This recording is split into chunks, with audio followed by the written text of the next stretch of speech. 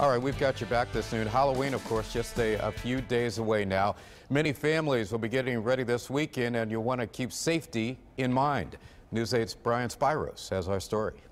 Monday night, this will be the scene in neighborhoods across Connecticut as families send their kids out to trick or treat. We want to make sure that they practice safety steps to make sure their, their kids go out safe and they come home safe. Gary MacNamara, police chief in Fairfield, with some important safety reminders for everyone. Travel in groups is always safe. We want to make sure that they supervise their children while going through the neighborhoods. The quest for candy set to begin as many people are driving home from work. That means there will be a lot of kids and cars on the roads at the same time. Don't drive distracted. Put your lights on. And above all else, slow down. Anyone crossing the street should do so in a designated area or a place that's well lit. Flashlights, glow sticks, and reflectors will help make kids more visible.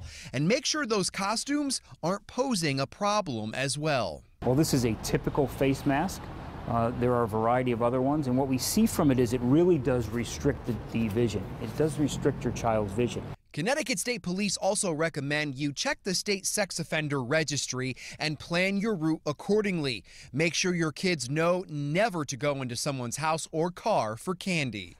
When it comes to handing out candy, if you don't want trick-or-treaters, make sure you leave your outside lights off. But if you do want them to stop on by, the front of your house should be lit and, of course, your sidewalks clear. Reporting from Hamden, Brian Spyros, News 8.